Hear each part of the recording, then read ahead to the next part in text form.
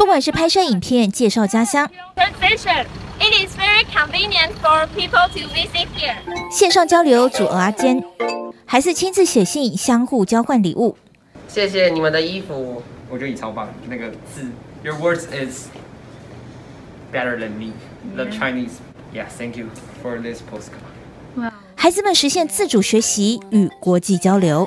I'm happy to join this international club that I could meet with a lot of foreigners and I can learn my English well.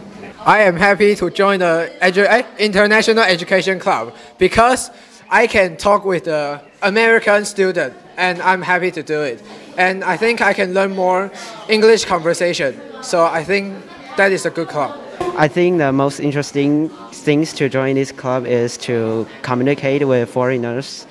Uh, I think it will let my English ability become better and better. I believe you can learn a lot.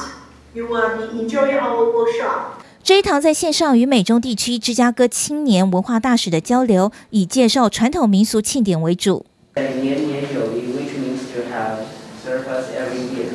从英语口语练习到文化交流，开启孩子们对不同文化的认识与理解。很高兴有这个机会，那借由校长的安排跟主主任的主导，然后我们可以安排学生呃进行国际文化的交流，让学生借由呃节庆这个主题，可以跟国外芝加哥跟纽约的朋友继续交流。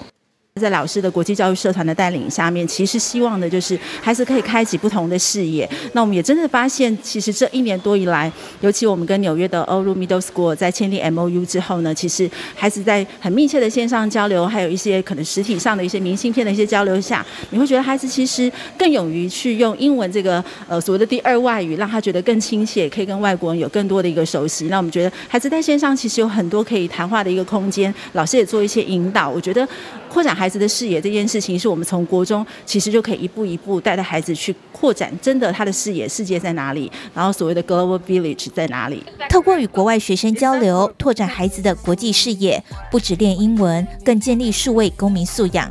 今年暑假，芝加哥青年文化大使将抵达台湾，在民传国中办理五天的全英语营队，带领学生走向世界。记者蔡小军采访报道。